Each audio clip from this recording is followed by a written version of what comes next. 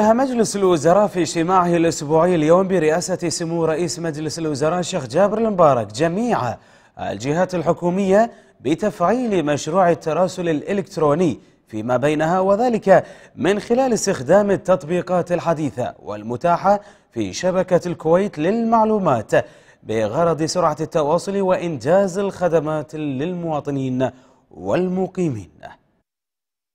وافق مجلس الوزراء خلال اجتماعه الأسبوعي برئاسة سمو الشيخ جابر المبارك على مشروع مرسوم بتشكيل المجلس الأعلى للطيران المدني وذلك برئاسة وزير المواصلات عيسى الكندري و12 عضوا آخرين.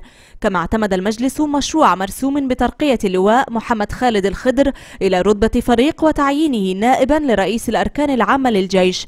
في حين وجه كل الجهات الحكومية إلى تفعيل مشروع التراسل الإلكتروني فيما بينها بغرض سرعة التواصل وإنجاز الخدمات للمواطنين والمقيمين وتسهيل مصالحهم.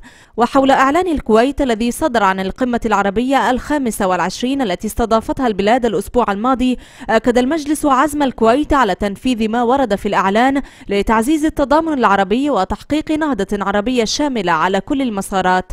من جهة أخرى قال مجلس الوزراء أنه يتابع باستياء واهتمام ما صدر عن أحد المسؤولين الأمريكيين من اتهامات تشكل مساسا بوزير الأوقاف. الأوقاف والشؤون الإسلامية نايف العجمي مؤكدا ثقته بالوزير.